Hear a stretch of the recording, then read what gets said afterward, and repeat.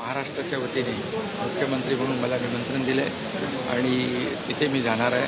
मी सगळ्यांनाच आजच्या या प्रसंगी खूप खूप शुभेच्छा देतो आणि त्याचबरोबर या मराठवाड्यासाठी देखील मी मगाशी माझ्या भाषणामध्ये सांगितलेलं आहे जे आवश्यक आहे इथला दुष्काळ कमी झाला पाहिजे जे वाहून जाणारं पश्चिम नद्यांचं पाणी वळवलं पाहिजे असे अनेक प्रकल्प जे आहेत हे अनेक मी त्याच्या डिटेलमध्ये जात नाही मगाशी बोललो आहे मी.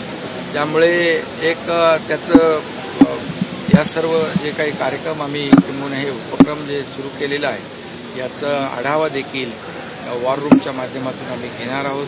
जेणेकरून जो काही बॅकलॉग बॅकलॉग सगळे लोक म्हणतात तो भरून काढण्याचा पूर्ण प्रयत्न महाराष्ट्र सरकार करेल. शिवसेना भाजप युतीचं सरकार स्थापन झालेलं आहे. माझ्यासोबत मुख्यमंत्री देवेंद्र फडणवीसजी आणि आम्ही सर्वजण या मराठवाड्याच्या मग मराठवाडा वॉटर ग्रीड असेल इतर सगळे जे काय मी त्याच्यात आज डिटेलमध्ये जात नाही परंतु हे सर्व प्रकल्प जे आहेत वेळेमध्ये पूर्ण झाले पाहिजे असा प्रयत्न सरकारचा आपल्या असेल हे सर्वसामान्य लोकांचं सरकार हे शेतकऱ्यांचं कष्टकऱ्यांचं कामगारांचं सगळ्या प्रत्येक समाजातल्या घटकाचं हे राज्य आहे.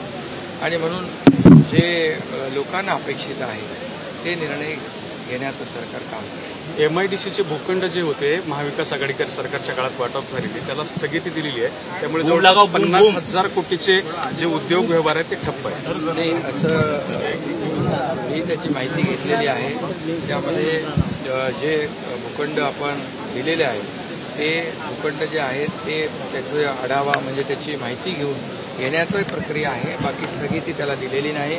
आणि तात्काळ तशा प्रकारचे जे काही मी देखील उद्योग मंत्र्यांना संबंधित अधिकाऱ्यांना सूचना केल्या आहेत निर्देश दिलेले आहेत. आपल्याला जी इन्व्हेस्टमेंट येते आहे ती कुठेही थांबता कामा नये आणि म्हणून त्याला तातडीने चालना देण्याच्या देखील सूचना पुनर पुनर्लोकन म्हणजे नेमकं काय होणार? त्या पत्रामध्ये असं म्हटलं की या सगळ्या प्रोजेक्टचं पुनर्लोकन व्हावं पुनर्लोकन नाही त्याची माहिती घेण्याचाच प्रश्न आहे. तो बाकी पुनर्लोकन नाही जे आणि मी सूचना दिलेल्या आहेत की जे उद्योग इकडे येऊ इच्छित आहेत त्यांना आपल्याला जास्तीत जास्त सवलती जे जास्तीत जास्त आपल्याला सबसिडी कशी देता येईल यासाठी प्रयत्न करावे. त्यांना ज्या परवानग्या आहेत वन वन विंडो क्लिअरन्स यामध्ये नाही मी कालच त्यांच्याशी बोललो.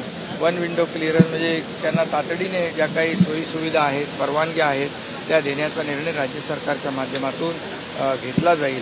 त्यामुळे कुठलाही उद्योगमध्ये जे काही दोन अडीच वर्षामध्ये काही झाल्या असतील ते मी आता बोलत नाही.